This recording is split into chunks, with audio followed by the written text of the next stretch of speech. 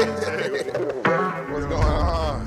Football has changed my life in ways I can't even explain. The day I started playing football, I was so addicted to it. First time I seen that, I, I was like, He's